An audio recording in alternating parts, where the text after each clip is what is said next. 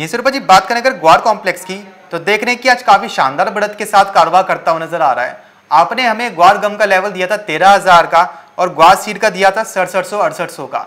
देख रहे हैं ग्वार गम का नवंबर वादा बारह हज़ार सात सौ सत्तर पर कारोबार करता हुआ नज़र आ रहा है। दो फ़ीसदी की तेज़ी है और ग्वार सीड का नवंबर वादा सड़सठ सौ चवालीस पर, एक फ़ीसदी की तेज़ी के साथ। रूपा जी, देख रहे हैं कि ग्वार गम तेरह हज़ार के बेहद करीब है और ग्वार सीड में सिक्सटी सेवन हंड्रेड का आपका लेवल अचीव हो चुका है। अब आपको यहाँ से क्या लगता है? अगर ग्वारगम में के अंदर तेरह हज़ार के लेवल्स दिख जाते हैं तो वहाँ से मुनाफा वसूली बनेगी या फिर वहाँ से लगातार तेज़ी ही बनती रहेगी और और अच्छे लेवल्स देखने को मिल पाएँगे?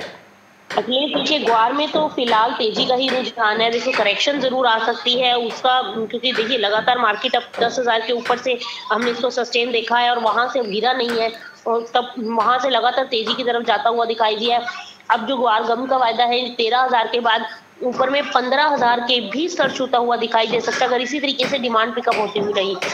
लेकिन अगर करेक्शन आई तो दस हज़ार का अहम सपोर्ट रहेगा। अगर उसको ब्रेक कर दिया तो फिर गिरावट बढ़ सकती है। तो अभी आप ये मान के चलिए, इसका लेवल जो बन चुका है, वो नीचे में दस हज़ार का है।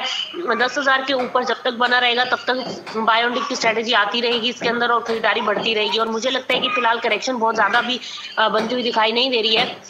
अब पिछले हफ़्ते भी हमने इसको तेज़ी के साथ बंद होते हुए देखा और अब भी हफ़्ते के पहले कारोबारी दिन आज इसकी शुरुआत अच्छी तेज़ी के साथ हुई है। तो हम्म। मुझे लगता है कि अगर करेक्शन आई भी तो हो सकता है एक आधे दिन में आपको तीन से चार परसेंट मार्केट जो है वो गिरता हुआ भी दिखाई दे। चार चार फ़ीसद की भी गिरावट बन जाए। लेकिन ट्रेंड पॉजिटिव है हर डिप पर खरीदारी होनी चाहिए। तेरह हज़ार के बाद मुझे लगता है कि पंद्रह हज़ार का टारगेट अचीवेबल है। वहीं ग्वार सीट की बात करें तो अड़सठ सौ से अब सात हज़ार तक का ग्वार सीट का भी टारगेट जो है वो देखने को मिल सकता है। तो काफ़ी बुलिशनेस है इसके अंदर अभी फ़िलहाल। तो फंडामेंटल इतना ज़्यादा सपोर्टिव नहीं है जितनी इसके अंदर हम इसके अंदर देख रहे हैं कि ट्रेडर्स की खरीदारी बढ़ती हुई नज़र आ रही है।